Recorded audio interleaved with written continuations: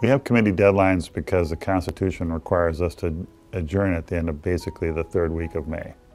And the committee deadlines allow us to channel an end of session in a neat, orderly way. So a committee deadline determines that actions by one body in committee have to begin stopping.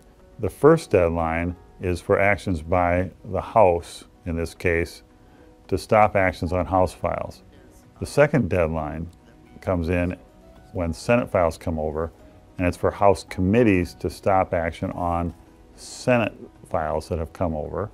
And then the third deadline is for the end of action on financial or fiscal bills, omnibus bills.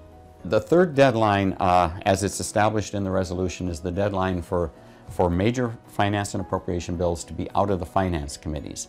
Uh, so that would mean like agriculture finance or higher ed finance have to finish their bills at that point.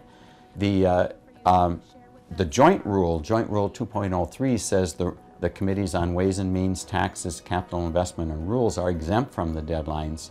So it means the bill has to be out of agriculture finance, for example, but not necessarily out of Ways and Means, or that the tax bill uh, doesn't have to be out of the tax committee on that date because the tax committee is exempt. We start this process with sometimes two, three, four thousand bills, and a legislature often passes two, three hundred bills into law. So the committee deadlines help funnel. It's like almost like a, a, funnel that filters through the thousands of ideas into those that have the general support of the legislature and of the Minnesota public, allowing us to get our work done and go home.